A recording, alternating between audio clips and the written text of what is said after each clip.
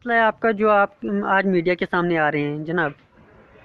मैं असल में यहाँ आज जो इलेक्शन जो पंचायती इलेक्शन चल रहे हैं, उसके हवाले से जहाँ तक मेरा ताल्लुक़ है, मैं खुद एक कैंडिडेट की हैसियत से हाटरी बलाक यानी फक्सु पंचायत ए से सरपंच कैंडिडेट इलेक्शन लड़ रहा हूँ।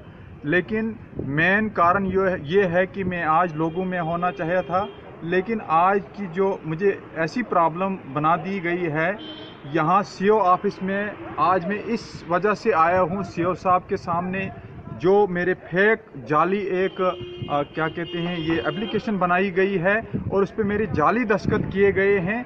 इस हवाले से कि जो मरहूम सलीम साहब का जो सताईस तारीख एक्सीडेंट हुआ है तो उसके ख़िलाफ़ मेरी एक आ, ऐसी साजिश की गई है कि उन्होंने एक कागज़ जो है उस पर जाली दस्तखत करवा के यहाँ से जो एक सीओ ऑफ़िस से एक लेटर निकला है जो कि 26 नौ 2018 को निकला है।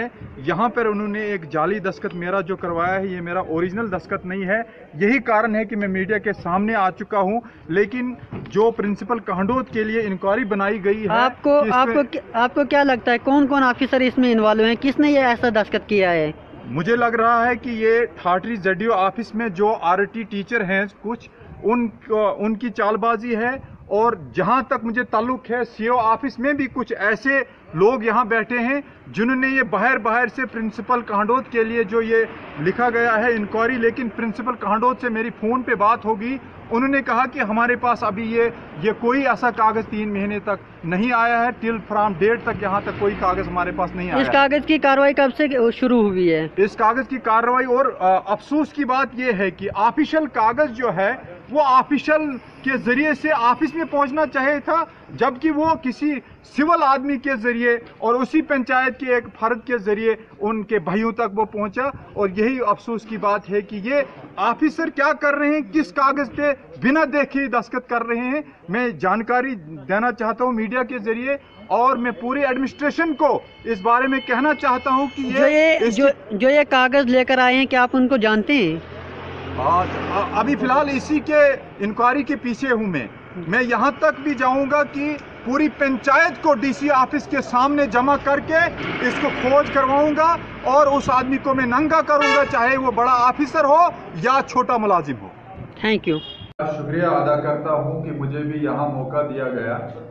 तो मैं मीडिया के सामने इसलिए आ गया क्योंकि मेरी मेरे जो जाली दस्खत आज पिछली आठ तारीख से ओपन आ गए उनके हवाले से मैं बात करना चाहता हूँ। आपने कि ये कागजात के बारे में बताया कि आपको किस दफ्तर से ये कागजात मिले हैं? जहाँ तक मुझे ये इंफॉर्मेशन है कि जो मैंने एसएसपी साहब के पास एप्लीकेशन दे दी उन्होंने जब मारक की यहाँ के लिए तो उसमें सलीम साहब के भाइयों के हाथ जो एक कागज़ दिया गया था तो वो कागज़ जहाँ तक अभी तक ट्रेस हुआ है तो वो उस आदमी को जडियो ऑफ़िस से मिला हुआ है। तो मुझे लग रहा है, मुझे खदशा है कि कहीं जडियो ऑफ़िस में जो इतनी धांधली चल रही है तो ये इनको बिल्कुल कोई भी पूछने वाला नहीं है। मैं मीडिया के ज़रिए कहना चाहता हूँ कि एडमिनिस्ट्रेशन को कम से कम इस पर ध्यान देना चाहिए, क्योंकि जो, जहाँ तक मुझे ताल्लुक है कि जो आरटी टीचर हैं, वो उन्होंने इस जडियो ऑफ़िस में मुझे लग रहा है इसीलिए रख रहे हैं कि वो वहाँ से फ्रॉड करें और लोगों के जाली दस्तखत करें। क्या आपको लगता है कि जेडियो ने उनको क्यों इसलिए बैठाया गया है कि क्या वो फ्रॉड ही करने के लिए है कि कुछ और काम करने के लिए भी है? मुझे तो ये क्लियर है कि मैं पिछले पाँच साल से जहाँ तक मेरा वहाँ अंदाज़ा रहा तो बार बार मैं जाता रहा तो हाल ही में कल सीओ ऑफ़िस में एक एप्लीकेशन जेडीओ साहब के हाथ गई है।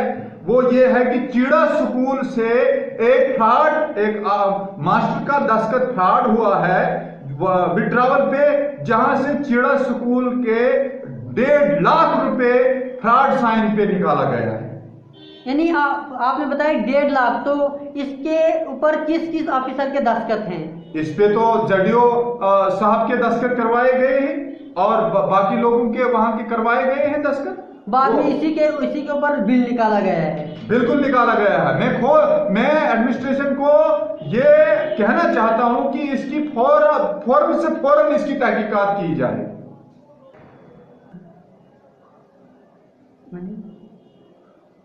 मेरे पास इस मसले में रिकॉर्डिंग भी है और इस मसले में जितनी भी वो कागजात है वो मेरे पास है। तो क्या आपको कागजात और रिकॉर्डिंग दोनों आप आपके साथ अभी भी हैं? बिल्कुल है।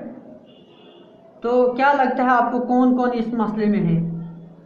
कितने अफसर और भी हैं जेडीओ के अलावा और अफसर के अलावा?